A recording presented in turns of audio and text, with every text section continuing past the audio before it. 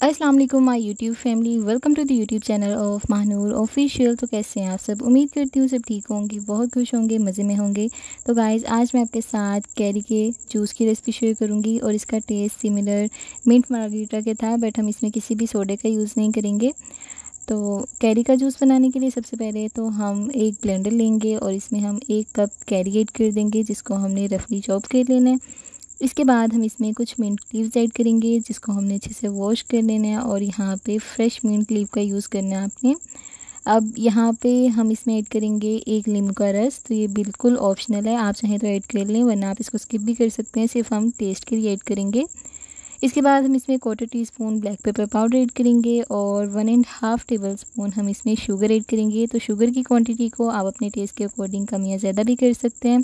तो यहाँ पे जो मैंने कैरी ली थी, वो ज़्यादा खट्टी नहीं थी थोड़ी सी स्वीट कैरी का यूज़ किया था तो इसलिए मैं इसमें शुगर कम ऐड कर रही हूँ। ब्लेंड करने के लिए थोड़ा सा पानी ऐड करेंगे और अच्छे से ब्लेंड कर लेंगे जब तक ये स्मूथ नहीं हो जाता। तो यहाँ पे हमने इसको तब तक ब्लेंड करना है जब तक मिंट लीव्स इसमें अच्छे से ग्राइंड नहीं हो जाते, इसमें स्मूथ नहीं हो जाते। इसके बाद हम इसमें ऐड करेंगे ढेर सारी आइस क्यूब्स तो आप चाहें तो आइस क्यूब्स ऐड कर लें वरना आप इसको स्किप भी कर सकते हैं। और आइस क्यूब्स ऐड करने के बाद हम इसको अगेन ब्लेंड कर लेंगे और अच्छे से इसको स्मूथ कर लेंगे।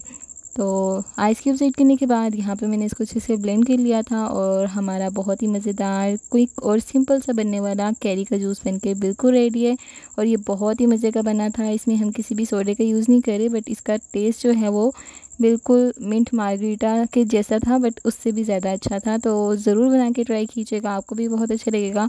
तो आई होप सो आपको वीडियो अच्छी लगी होगी। वीडियो अच्छी लगी वीडियो को लाइक कमेंट और शेयर करना मत भूलिएगा। मिलते हैं एक नई वीडियो में। तब तक के लिए अल्लाह हाफिज़। Take care bye bye